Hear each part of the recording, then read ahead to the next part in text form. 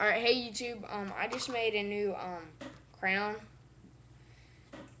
and it's really nice. It works. I'll give you a little test on it in a second, but how you make it is you have a tennis ball lid, paper, and I, you, of course, some scissors, and then you can customize it with like a sticker or whatever. That's what I did. I got an HK skull and put it on there. But what you do with the tennis ball lid is you make sure it fits like your Magna or Halo or whatever you have like that. Doesn't really work on a velocity or a torque or rotor unless you like mod it somehow and I don't know how you do that. So here, there it is.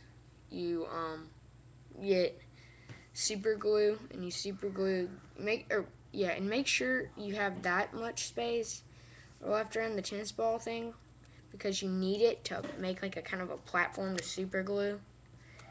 And um, super glue over the paper like I did so it doesn't rip. And um, like make sure when you put super glue on it or hot glue um, that it doesn't make it too hot to where it um, kind of like comes together. And that's what happened to mine.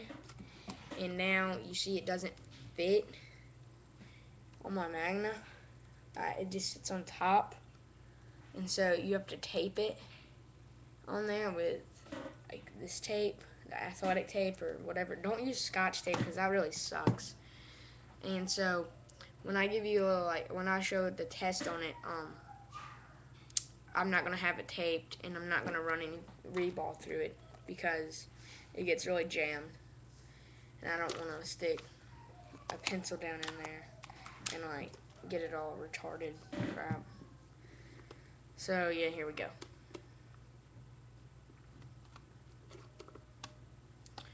Let me hold it. I'm just gonna hold it on there.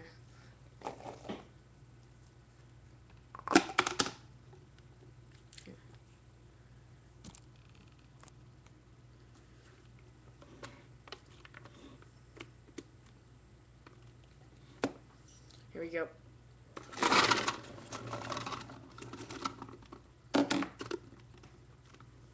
There you go. And I'll hold it because I don't want to tape it. So you hold it. And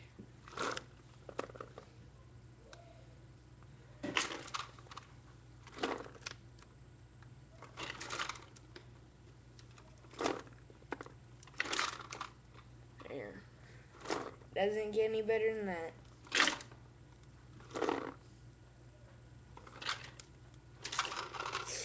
So yeah. There you go.